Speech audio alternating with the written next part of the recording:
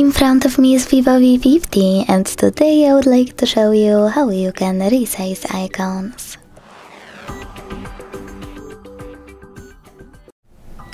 Begin by pinching your device's display.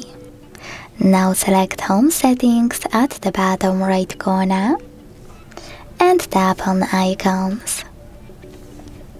Following that, you need to operate this slider under icon size to adjust it and check out preview at the top.